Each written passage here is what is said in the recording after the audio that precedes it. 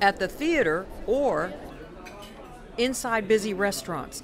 68 year old Alan Bergstein struggled. I couldn't hear conversations at all. It's like people were mouthing things, but all I heard in the background was other people talking or noise or whatever. For more than a decade, Bergstein wore hearing aids.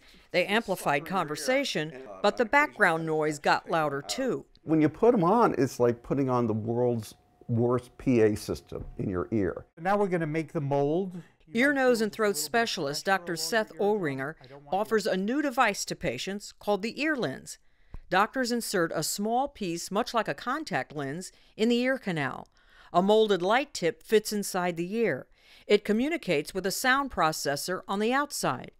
When the processor picks up sound, the lens vibrates and sends the sound to the eardrum. The difference with Earlens is that it covers a much larger bandwidth than traditional hearing aids, so it allows them to hear the much higher frequencies than compared to a traditional hearing aid. For example, traditional hearing aids sound like this.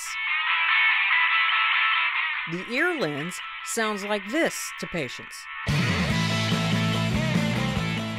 Makes sound much crisper and allows them to do much better hearing, especially in noisy environments. Alan says he noticed an immediate difference when he began wearing the Earlens. His hearing's not perfect, but it's the best he's had in years. I can hear pretty much what a 30 year old would hear in most environments. I'm Marty Salt reporting.